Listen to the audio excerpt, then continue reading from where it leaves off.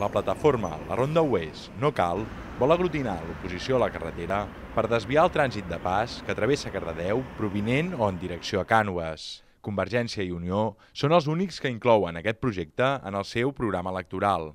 En aquest sentit, el secretari de la plataforma La Ronda Oest No Cal, Josep Estalella, afirma que tenen l'adhesió de tots els partits al consistori, a excepció, òbviament, de Convergència i Unió. Hem muntat i organitzat una plataforma de Cardedeu que intenta representar tot Cardedeu i té adhesions de gent de tot Cardedeu, partits polítics tots excepte Convergència i Unió, òbviament, associacions de regants, de veïns, propietaris, pagesos, individuals, eh, moltíssimes adhesions a través de Facebook i d'altres mitjans, i eh, aquí anem, hem de tirar endavant per intentar ensenyar que la ronda no cal per Cardedeu. La plataforma La Ronda Oest No Cal denuncia que la carretera té un important impacte ambiental i que la seva construcció suposa un canvi dràstic en el model de poble. Un projecte,